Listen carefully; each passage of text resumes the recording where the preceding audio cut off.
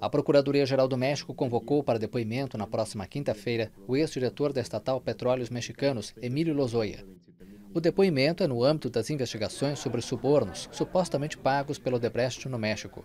No domingo, o jornal Globo informou que Lozoya, ex-chefe da Pemex e próximo ao presidente Henrique Penha Neto, teria recebido 10 milhões de dólares em propinas da Odebrecht em troca da concessão de um contrato de uma refinaria à empresa brasileira.